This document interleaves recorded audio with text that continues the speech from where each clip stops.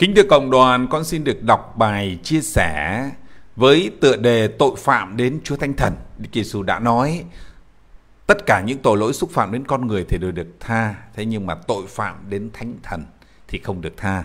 Trong bài viết này giải thích cho chúng ta hiểu thế nào là tội phạm đến Chúa Thánh Thần.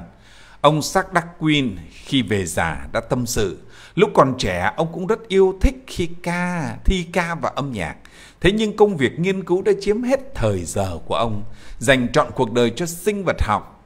Cho nên ông Darwin đã mất dần khả năng thưởng thức thi ca và âm nhạc.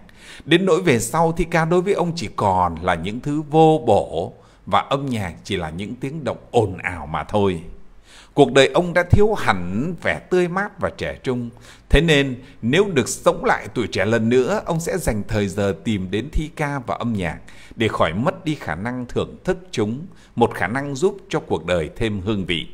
Lời tâm sự của Darwin giúp chúng ta hiểu thêm phần nào về tội phạm đến Chúa Thánh Thần được Chúa Giêsu nói đến trong tin mừng.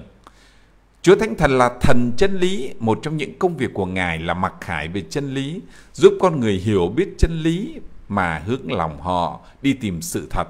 Bởi thế sau khi Chúa Giêsu về trời thì Thánh Thần đến trên các tông đồ để dạy dỗ và hướng dẫn các ông. Nhờ Thánh Thần các ông đã hiểu rõ những lời nói và việc làm của Chúa Giêsu và cũng nhờ Thánh Thần các ông đã mạnh dạn rao giảng tin mừng như lời căn dặn của Chúa Giêsu trước khi Ngài về trời.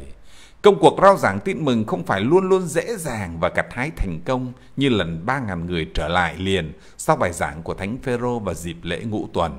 Nhưng các ông đã gặp biết bao chống đối và bách hại dù gian nan thử thách như thế, các ông vẫn hiên ngang rao giảng vì đó là lời mời gọi của Chúa Giêsu và hơn nữa một điều kiện ai tuyên xưng thầy trước mặt thiên hạ thì con người cũng sẽ tuyên xưng người ấy trước mặt các thiên thần của Thiên Chúa.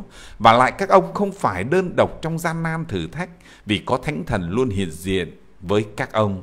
Thánh thần sẽ dạy cho các ông phải nói gì khi bị điệu đến trước nhà cầm quyền vì danh Chúa Giêsu một sự hiện diện gần gũi và cần thiết như vậy của Thánh Thần khiến cho tội phạm đến Thánh Thần trở thành tội không được tha.